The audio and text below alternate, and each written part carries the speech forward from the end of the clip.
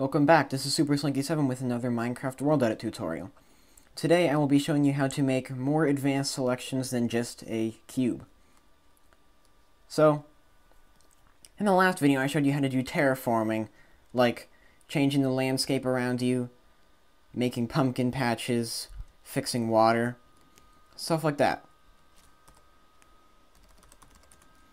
But today I will be showing you how to make more advanced selections.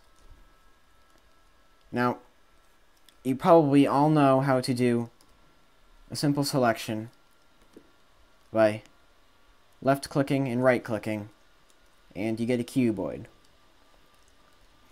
But sometimes that's not good enough. And that's why I will be showing you how to select an irregular polygon, a sphere, and a cylinder shape. So, First, I'll show you how to do a polygon. So you do slash slash sel poly. So first I start by left clicking as if to destroy a block. And then I right click to add a point.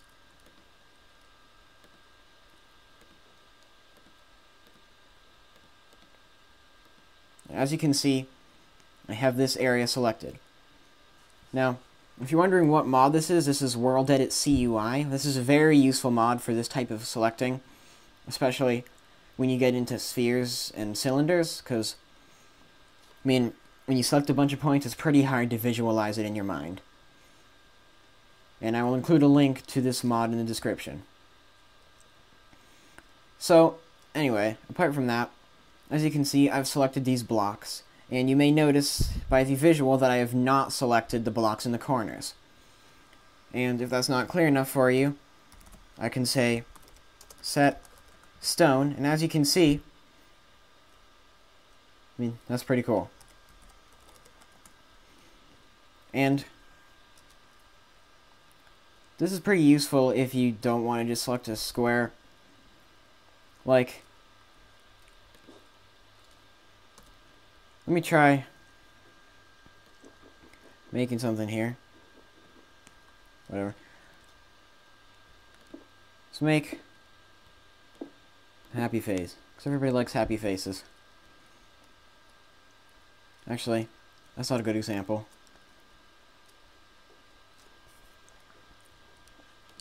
Here, I'll make an irregular shape. Make an L. So, I want to just select that L, and I want to make, I want to change it so that it's lapis lazuli. So,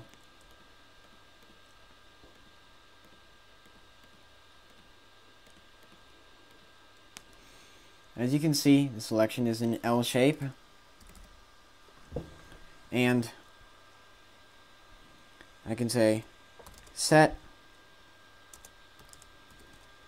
lapis lazuli. And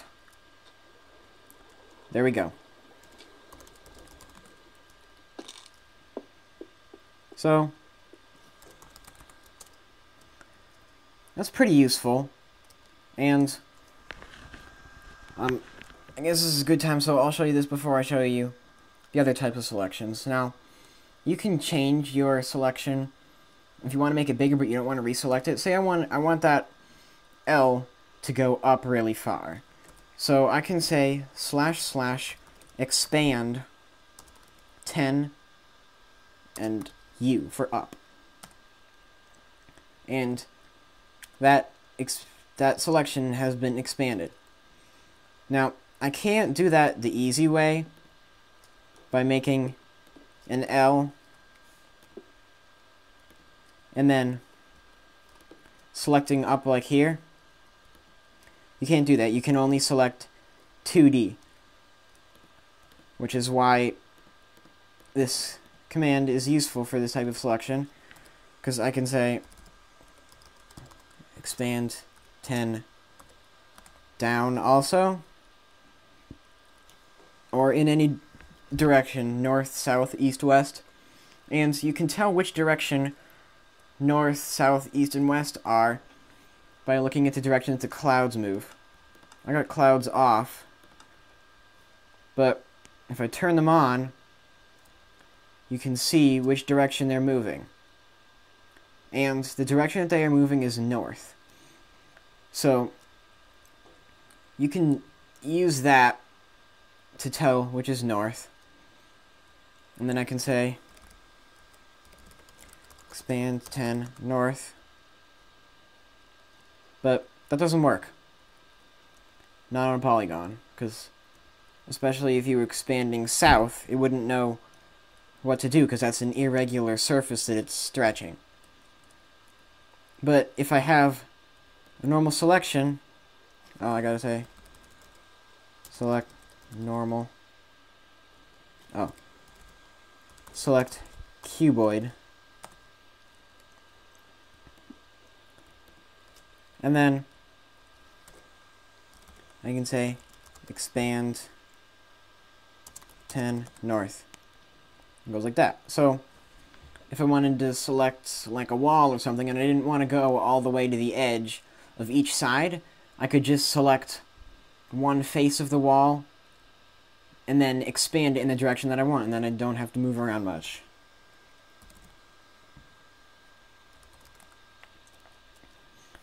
So, you can also do outset. So,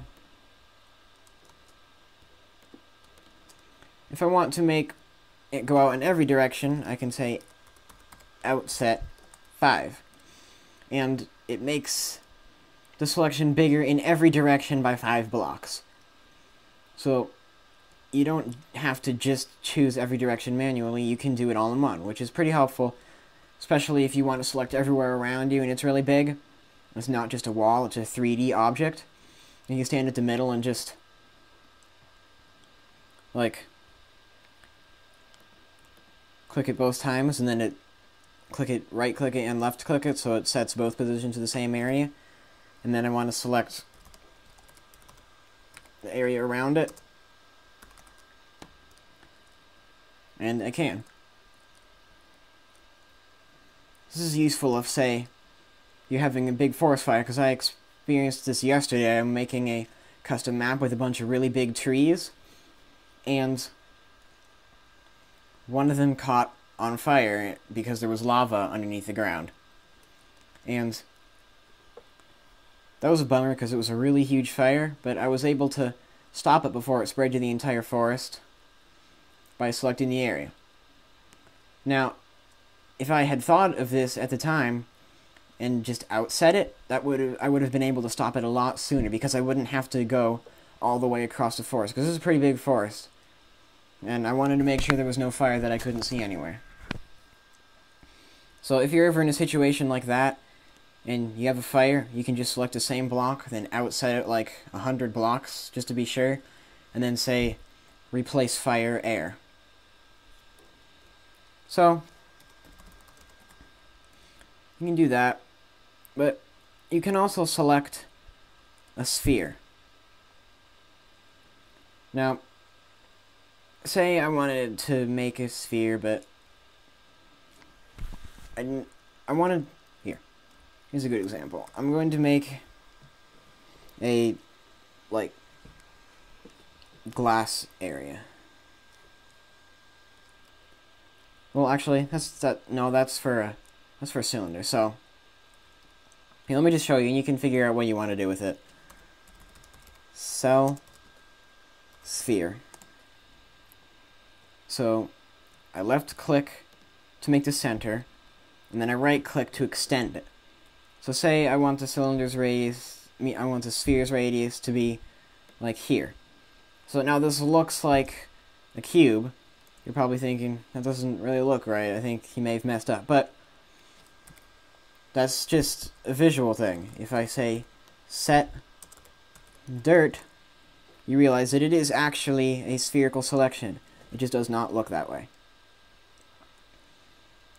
Now, I haven't really figured out a good use for selecting a sphere, because if I wanted to make a big sphere, I could just say slash slash sphere, then block type, and then radius. And it would make that around me. But I suppose if you wanted to change the inside of solid area to a sphere, but still keep the cube shape, so the sphere was invisible on the inside or something, that's how you would do that.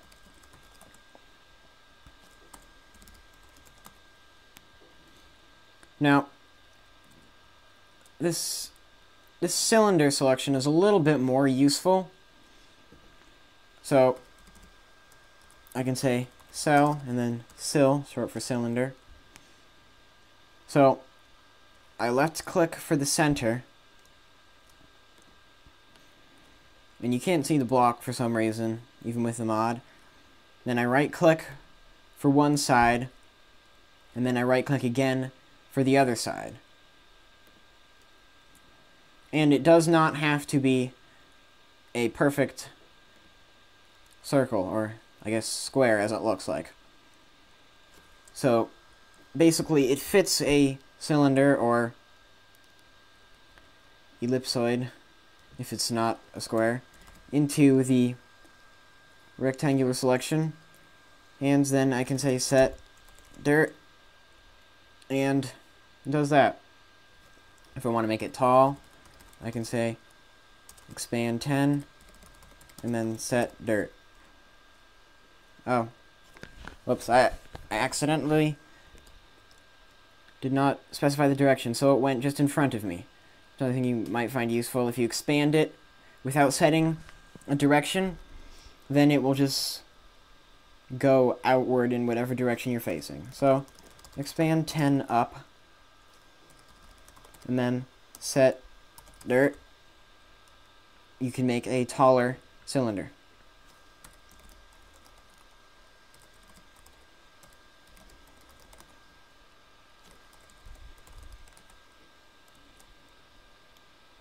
So, there you have it. That's really all there is for advanced selections. Um, I mean, some of these are pretty useful. Some of them are, as far as I've been able to think of, pretty pointless, like the spherical selection. And it'd be nice if they could actually make, if this WorldEdit CUI mod could actually make it look like a sphere or a cylinder, but kind of like they do for the polygon, but I mean, it doesn't really matter because it's pretty easy to visualize a sphere inside of a cube. So, Thanks for watching. I don't really know what my next WorldEdit video will be. Um, I was thinking about doing craft scripts, but those are pretty complicated, and to be perfectly honest, I haven't really figured those out yet. Basically, it's a way to write your own commands in WorldEdit to do whatever it is that you want to do. I would have to probably learn JavaScript to do that, so if I ever do a tutorial on that, it will be in a while. So, basically, that's all for today. Thanks for watching. Comment, rate, and subscribe. Bye.